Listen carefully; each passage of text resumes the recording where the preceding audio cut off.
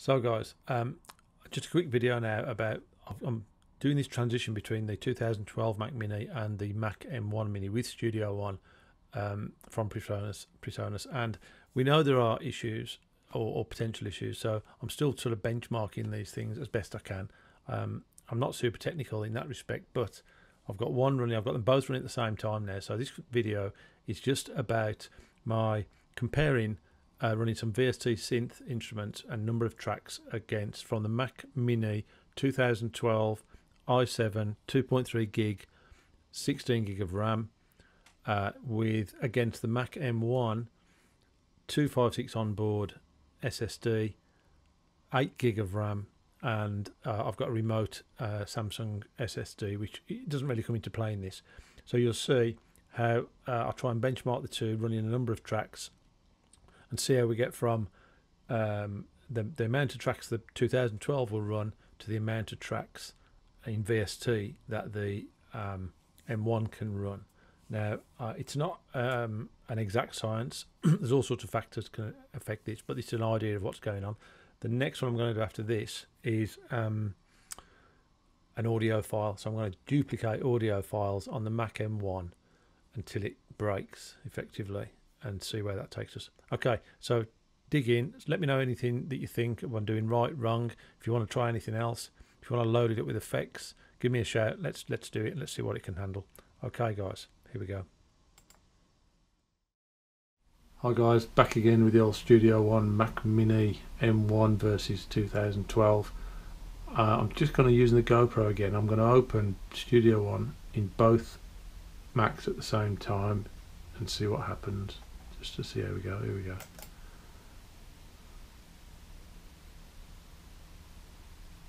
So on the right is the Mini M1, one on the left. So M1's open. 2012 still struggling a little bit. Well, it's not struggling, it's just not as quick. There we go, open. So what was that? About 40 seconds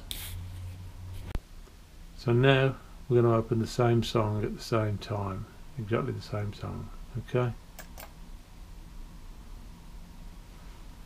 let's see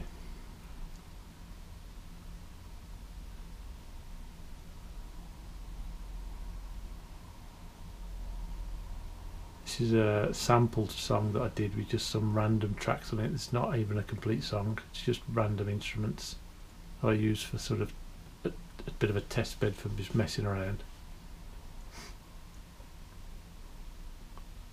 Okay, so there's no interface on here, but it's open. The M1's open.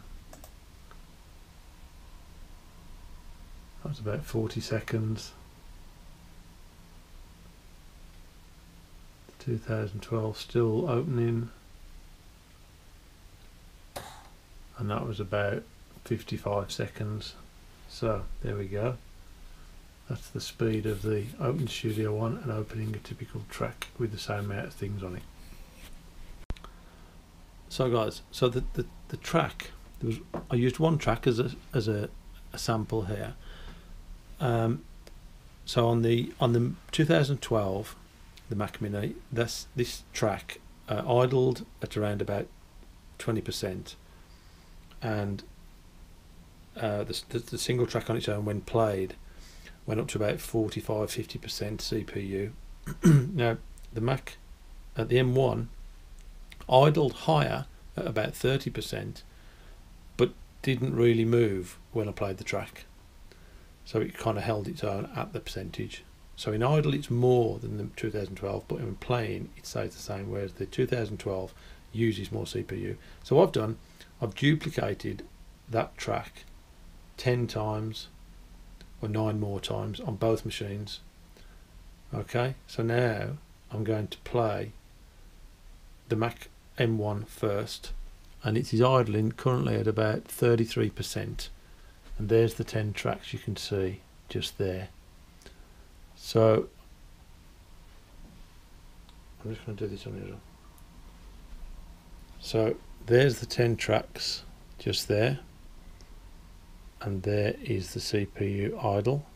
So I'm going to play this now.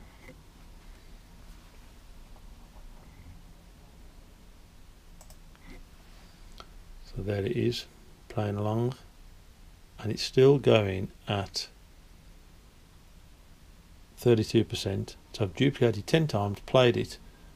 The CPU hasn't moved virtually.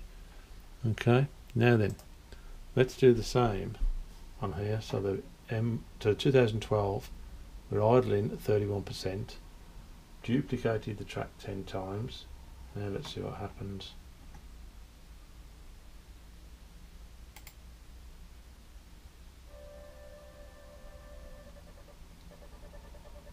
That's what happens. 100% as good as it hasn't crashed but it's as good as stalled stopped it it's gone back. So there you go that appears to be the distance. Now what I'm going to do I'm going to I'm going to that I'm not even going to try and duplicate anymore on the um, 2012 but I am going to duplicate it on the M1 and see what happens. Okay guys so back. I've duplicated the tracks again so there's now 20 tracks. There's now 20 tracks of this same audio playing. CPU is still idling at around 34% let's play it see what happens.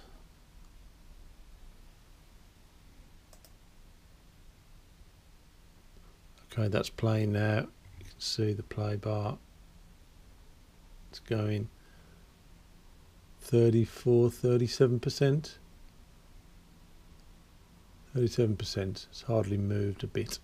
Let's go again okay guys so I've now duplicated 20 tracks into 40 so there's now 40 instances of this iris going on. Um, I don't know if we can see the iris in here. Well there they all are there look. All those Izotope iris instances. Now this is currently idling now at 48% let's see what happens if we play this